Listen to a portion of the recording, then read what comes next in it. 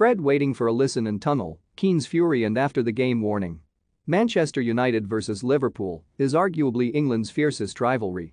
Sure, the Red Devils and Leeds have had some bitter tussles over the years, as have the likes of West Ham and Millwall. But United's derby with Liverpool is one that is steeped in history and tradition.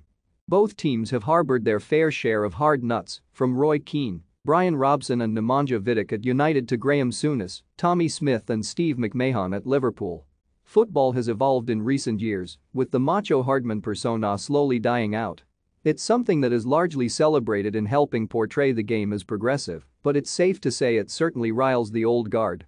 In January 2020, Brazil international Fred waited in the Anfield tunnel for his compatriot Alisson after Liverpool had comfortably turned over the Red Devils 2-0 in the Premier League. Back in the day, this would have likely been the prelude to a fight between the two players, at the very least it would have been some sort of confrontation. But instead, Fred merely wanted Alisson's shirt. Liverpool's inside Anfield tunnel cam showed the midfielder briefly speaking to the keeper before the footage cut away.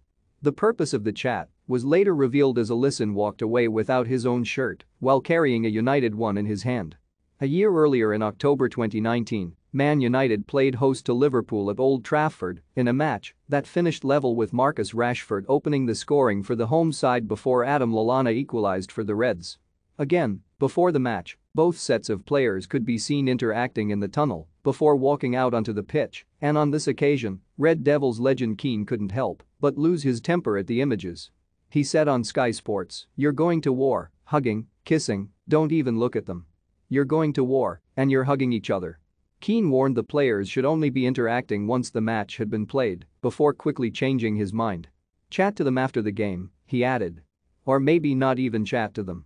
Interestingly, the last time the two sides faced each other was a spicy affair in which Liverpool ran out 5-0 winners over their rivals Manchester United at Old Trafford.